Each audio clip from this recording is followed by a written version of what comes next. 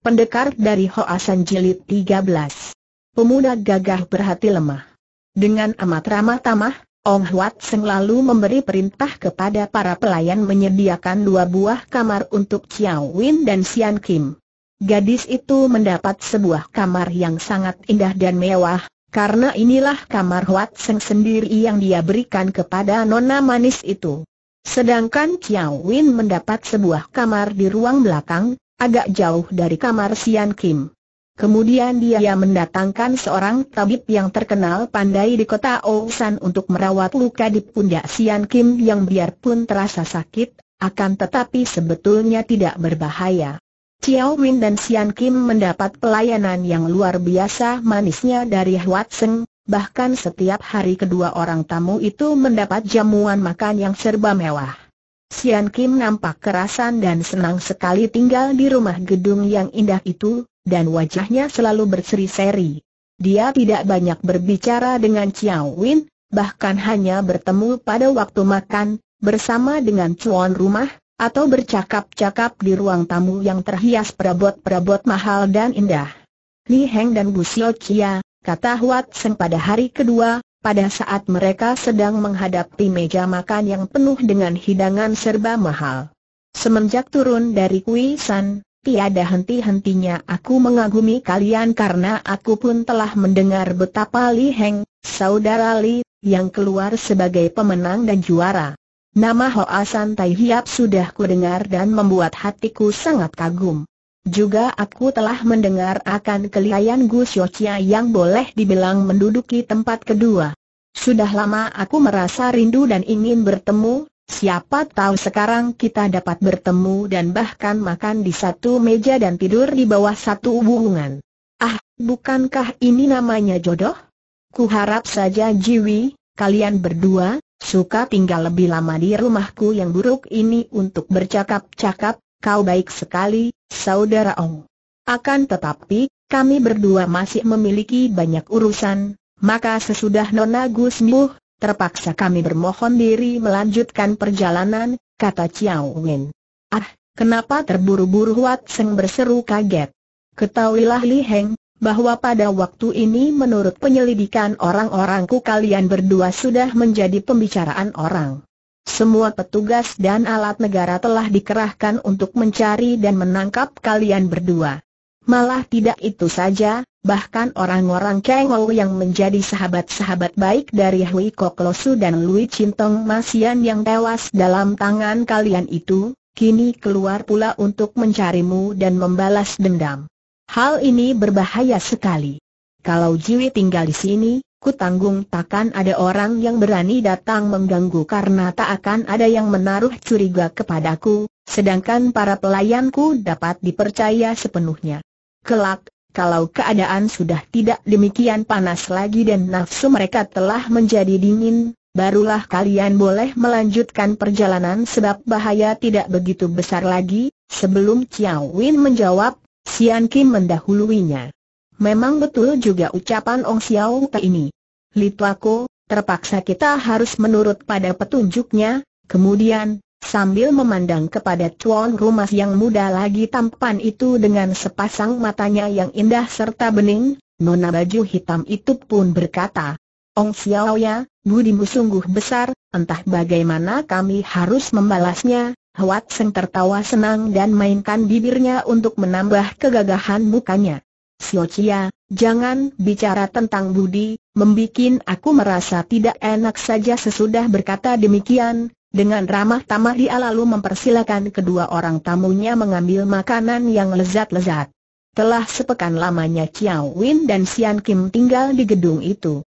Makin lama, hati Chiao Win makin merasa tidak enak dan tidak senang. Ia ingin cepat-cepat pergi dari situ untuk melakukan perjalanan bersama Sian Kim, untuk dapat berdua saja dengan yang dicintainya itu. Di dalam gedung ini ia merasa seakan-akan ia dipisahkan dari Sian Kim. Bahkan sudah dua hari ini ia jarang bertemu kekasihnya dan seakan-akan gadis itu sengaja menjauhkan dirinya. Juga Ong Hwat Seng jarang muncul, kecuali di waktu makan. Pada saat mereka makan bersama pun, Sian Kim dan Hwat Seng nampak pendiam dan tidak banyak bicara. Akan tetapi, yang membuat hati Chiao Win merasa semakin gelisah adalah sinar mata Sian Kim yang bersinar-sinar pada waktu gadis itu mengerling ke arah tuan rumah. Pada malam hari ke-8, Chiao Win merasa gelisah. Kamar yang lega itu nampak sempit baginya dan keindahan kamar berubah menjadi amat membosankan hatinya. Dia merasa rindu sekali kepada Sian Kim biarpun gadis itu berada di bawah satu hubungan dengannya. Ia tak dapat tidur dan segera keluar dari kamar, berjalan-jalan sepanjang deretan kamar dan ruang yang sangat luas di gedung. Maksudnya hendak mencari pintu belakang dan masuk ke dalam taman bunga besar yang berada di belakang gedung itu. Ketika ia lewat di depan sebuah kamar di bagian belakang, Tiba-tiba ia mendengar suara wanita menangis. Chiao Win merasa heran sekali dan dia berhenti melangkah, mendekati pintu kamar itu kemudian memasang telinga baik-baik. Terdengar olehnya betapa suara tangisan itu disertai keluhan yang amat sedih. Suamiku, tidakkah rohmu melihat betapa anakmu menjadi tersesat? Lindungilah dia dan insyafkanlah hatinya, suamiku, kalau Seng tidak segera insaf, dia tentu akan mengalami malapetaka, dan aku, aku yang disia-siakannya, aku tetap tidak tega. Kemudian terdengar lagi suara wanita itu menangis Chiao Win merasa heran sekali dan tak terasa pula ia mendorong daun pintu yang ternyata tak terkunci dari dalam. Ketika daun pintu terbuka, ia melihat seorang wanita tua, sedang berlutut di depan meja sembahyang di dalam kamar itu. Sepasang lilin nampak bernyala di atas meja sembahyang dan kamar itu penuh dengan asap hio yang aromanya harum. Saat mendengar kedatangan orang, wanita itu segera berdiri dan memandang. Ketika ia melihat Xiao Win, matanya mengeluarkan sinar marah. Dengan gemetar tangannya lalu menuding kepada pemuda itu dan ia berkata, Kau, kau penjahat yang meracuni anakku, Apakah kau datang hendak membunuhku dan merampas harta benda kami bukan main kaget hatinya ketika Chiao Wen mendengar tuduhan ini, maka ia lalu menjawab dengan gagap. Lo Hujin, kau tentu ibu dari saudara Ong Huat Seng, ia lalu menjura memberi hormat. Akan tetapi mengapakah kau marah-marah kepadaku? Aku bukan orang jahat dan aku tidak bermaksud jahat terhadap siapa pun juga, bohong kau datang membawa perempuan jahat untuk memikat hati putraku hingga ia tergila-gila. Mereka main gila di dalam rumahku yang bersih. Mereka mengotorkan rumah ini mencemarkan nama keluarga kami yang terhormat. Dan kau mau berkata bahwa kau dan kawanmu itu tidak bermaksud jahat Xiao Wen terkejut sekali. Apa katamu?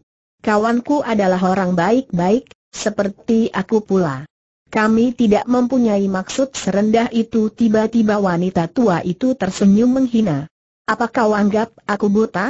Biarpun aku sudah tua, akan tetapi aku tidak mudah ditipu oleh bajingan-bajingan muda seperti kau. Pergi.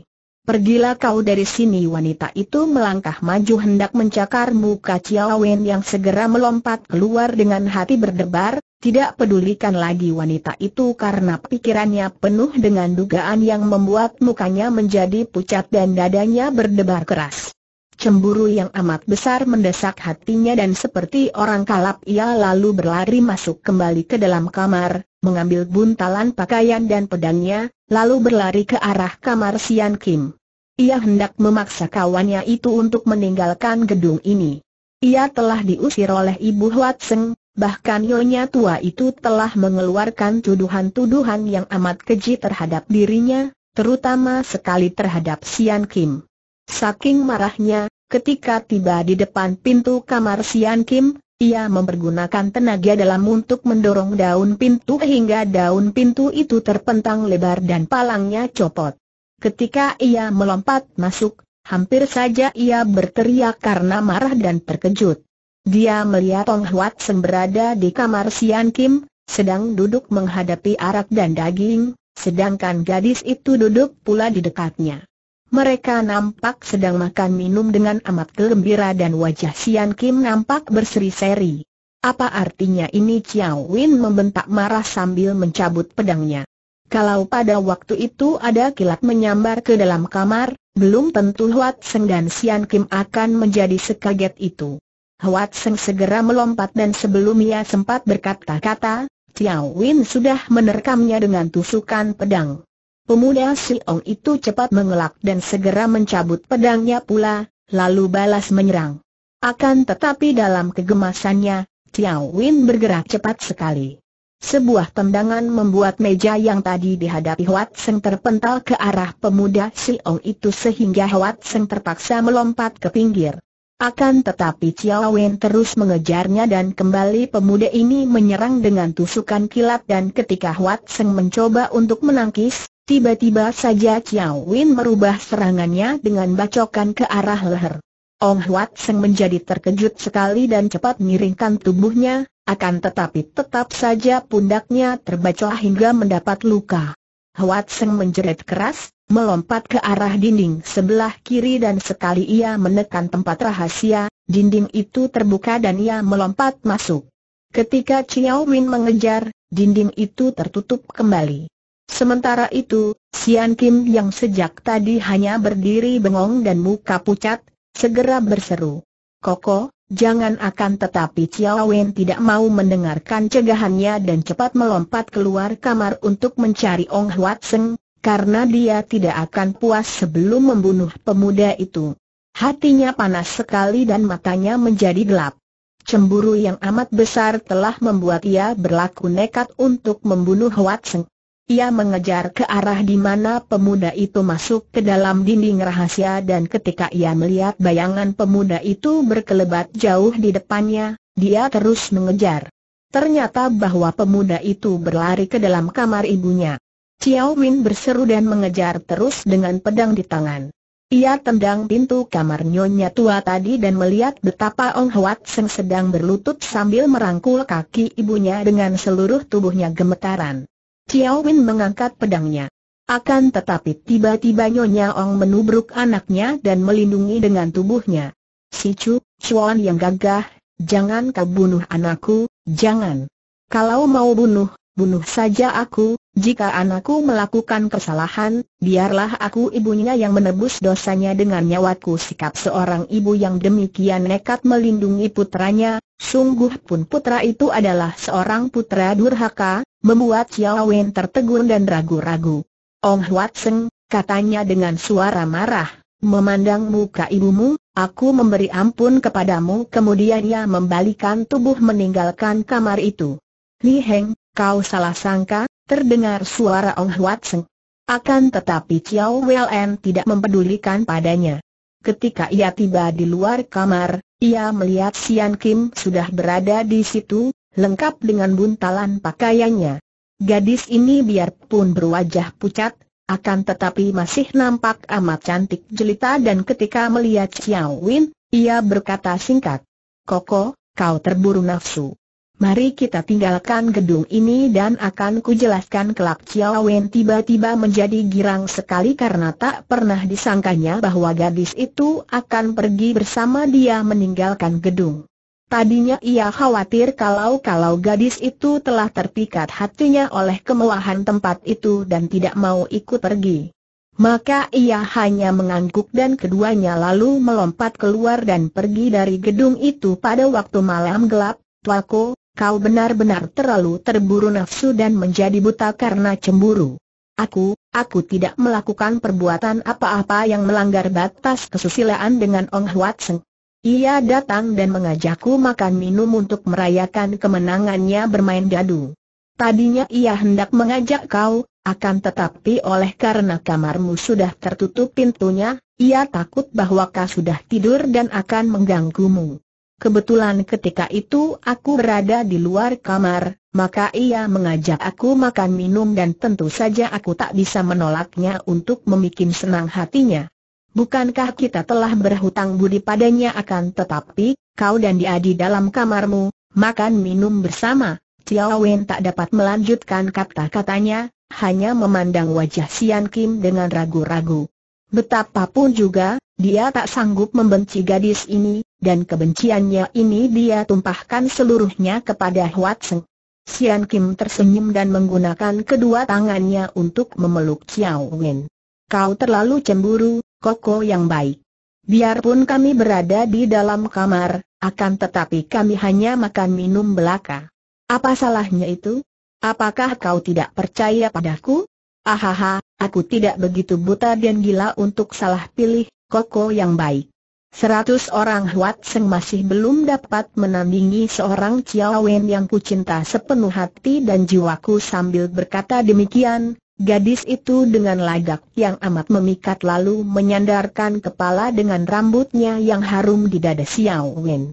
Pemuda ini memang telah berhari-hari merasa rindu pada kekasihnya, maka kini melihat sikap Sian Kim, luluhlah seluruh kemarahannya dan ia lalu balas memeluk dengan hati amat bahagia. Ia merasa seakan-akan mendapatkan kembali mustika yang disangkanya telah hilang. Nyonya tua itu, Ibu Huat Seng, ia membuat aku cemburu dan gelap mata katanya seakan-akan mengatakan kemenyesalan dan maafnya atas perbuatannya tadi. Ia bilang bahwa kau dan anaknya melakukan hal-hal yang tidak selayaknya. Sian Kim merenggutkan kepalanya dari dada Chiao Win dan sinar matanya menyatakan bahwa ia marah sekali. Bibirnya yang manis itu cemberut. Nyonya gila itu? Koko, Apakah kau lebih percaya terhadap seorang nyonya gila daripada aku, kekasihmu yang sangat mencintamu? Kalau begitu, akan kubunuh nyonya itu sekarang juga gadis ini membuat gerakan seakan-akan hendak lari kembali ke gedung Ong Huat Seng. Melihat sikap ini, makin besar kepercayaan Chiao Wen terhadap kesucian kekasihnya, oleh karena itu ia cepat-cepat menubruk dan menggunakan kedua lengannya untuk memeluk pinggang Sian Kim. Jangan, Moi Moi, tak usah kau melakukan hal itu. Tian yang menjadi saksi bahwa aku percaya kepadamu. Maafkan perbuatanku yang bodoh tadi Sian Kim dengan masih cemberut lalu mengerling tajam, marah sekali. Lain kali jangan kau meragukan cintaku, Koko. Kalau kau memang tidak percaya, biarlah sekarang juga kita berpisah dan selamanya tak pernah bertemu lagi. Aku rela menderita dan patah hati, asal tidak membuat kau gelap pikiran dan mengamuk tidak karuan seperti orang gila. Chiao Win merasa terharu dan memeluk lebih erat. Maafkan aku, Moi Moi, aku memang bersalah. Biarlah lain kali aku minta maaf kepada Seng. akan tetapi di dalam batinnya Chiao Win maklum bahwa berapapun juga, kebenciannya terhadap Seng tidak akan dapat lenyap, Tentu saja Chiao Win tak pernah mengira bahwa memang sesungguhnya, sejak tinggal di gedung keluarga Ong, Sian Kim mengadakan hubungan gelap dengan Ong Huat Seng. Nona ini karena menjadi penasaran dan jengkel melihat sikap Chiao Win yang bersopan santun selalu itu, kini berjumpa dengan seorang pemuda yang selain tampan dan kaya raya, juga yang mempunyai sifat yang sama dengan dia sendiri, maka tentu saja mereka merupakan pasangan yang amat cocok. Di dalam kamar Sian Kim terdapat sebuah pintu rahasia dan melalui pintu inilah Wat Seng mengadakan pertemuan dengan Sian Kim. Setelah Sian Kim dan Chiao Win meninggalkan rumahnya, Wat Seng merasa amat marah dan sakit hati. Dia benci sekali kepada Chiao Win yang selain memutuskan hubungannya dengan Sian Kim, juga menghinanya dan melukai pundaknya. Ia lantas bersumpah untuk membalas dendam. Karena itu, pada keesokan harinya, cepat dah menyebar orang-orangnya untuk memberitahukan kepada para petugas pemerintah yang sedang mencari-cari kedua orang itu dan juga kepada para jago Kang yang merasa marah mendengar betapa He Lian Chu dan Hoa San Tai Hiap telah membunuh orang baik-baik dan membuat kekacauan besar. Terbunuhnya Ho Pak Sam Eng beserta putra mereka, dan terbunuhnya Hui Kok Lo Su, Lu Cintong Masian serta banyak anggota perkumpulan Kim Ho Bun, membuat para orang gagah merasa heran dan juga marah sekali terhadap Hoa San Tai Hiap. Sebentar saja menjadi buah bibir kalangan Kang Ou bahwa Hoa San Tai Hiap menjadi jahat karena pengaruh He Lian Chu yang sudah terkenal jahat dan menjadi pemimpin perkumpulan He Lian Pang yang juga bernama busuk itu. Maka ketika Ong Huat Seng, jago muda Bu Tong Pai, memberi kabar bahwa kedua orang muda yang dicari-cari itu sudah mendatangi rumahnya, merampok dan bahkan melukai pundaknya, mereka segera memburu dan mengadakan pengejaran. Dalam kemarahan dan dendamnya, Ong Huat Seng melakukan usaha yang amat luas. Ia bahkan memberi kabar kepada Hosim Sian Su, tokoh Hoa San Pai atau guru dari Chiao Win. Dia mengirim surat yang membuka semua kejahatan Chiao Win bersama Sian Kim, setelah meninggalkan rumah gedung Ong Huat Seng dan mengalami peristiwa itu, hati Chiao Win tidak berubah terhadap Sian Kim, bahkan makin besar rasa cinta kasihnya dan ia makin tergila-gila. Apalagi sekarang Sian Kim berusaha sekuat tenaga untuk menarik hati pemuda itu dengan lagak yang amat menggiurkan hati. Namun, betapapun juga ia tidak dapat meruntuhkan keteguhan iman Chiao Wen. Pemuda itu masih dapat mempertahankan diri dan tidak melakukan pelanggaran yang melampaui batas-batas kesusilaan. Sementara itu, di dalam tubuh Chiao Wen telah mengalir racun kembang yang berasal dari sapu tangan hijau pemberian kekasihnya dulu. Racun ini memang berjalan lambat sekali, dan dalam waktu kira-kira satu bulan barulah orang yang terkena racun ini akan menjadi korban yang tak akan dapat tertolong jiwanya lagi. Dengan muslihat yang cerdik dan licin, Sian Kim kemudian mengganti sapu tangannya dan memberi Chiao Win sapu tangan yang baru dan yang lebih harum aromanya karena mengandung racun yang lebih banyak. Chiao Win yang tak menduga sesuatu menganggap pemberian sapu tangan-sapu tangan ini sebagai tanda cinta yang lebih besar dari gadis itu. Tiga hari kemudian, mereka mulai bertemu dengan orang-orang Kang pertama yang sedang berusaha mencari mereka. Orang-orang ini bukan lain ialah Bong Hin, anak murid pertama dari Kun Lun Pai yang dahulu ikut pula berpibu, mengadu kepandaian, di puncak San dan pemuda yang gagah perkasa ini dikawani oleh Guim Tojin, tokoh nomor tiga dari Kun Lun Pai. Guim Tojin merupakan susiok, paman guru, dari Bong Hin dan ilmu kepandaiannya amat tinggi serta namanya sudah tersohor sebagai seorang pendekar dari tingkatan tua. Guim Tojin dan Bong Hin kebetulan sedang berada di dekat tempat itu ketika mereka mendengar berita yang ditebar oleh Hong Huat Seng bahwa Hoa Tai Hiap dan Hek Lian Chu berada di sekitar Ro Chiu. Kebetulan sekali pada waktu itu mereka melihat Xiao Win duduk di bawah sebatang pohon Xiong dan Sian Kim dengan gaya yang manja sekali sedang berbaring di atas rumput dengan kepala berbantal paha pemuda itu. Chiao Win dengan mesra sekali membelai rambut kekasihnya yang hitam, panjang, dan berbau harum. Pemuda ini merasa amat berbahagia dan lupalah sudah dia akan segala peristiwa yang dialaminya bersama Sian Kim hingga membuat dia banyak menanam bibit permusuhan dengan para orang gagah dan menimbulkan rasa kebencian kepada seluruh orang-orang Kang Ou. Chiao Win membelai rambut kekasihnya sambil menciumi sapu tangan hijau. Sekarang dia tak dapat terpisah dari sapu tangan itu karena sering kali ia merasa tubuhnya lemas kalau tidak mencium harum kembang yang menempel pada sapu tangan itu.